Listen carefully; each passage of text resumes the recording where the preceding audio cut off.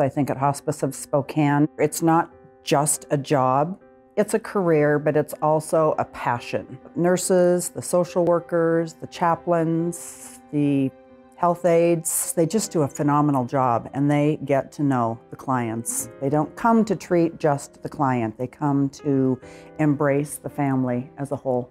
To serve with the region's number one hospice team, visit hospiceofspokane.org.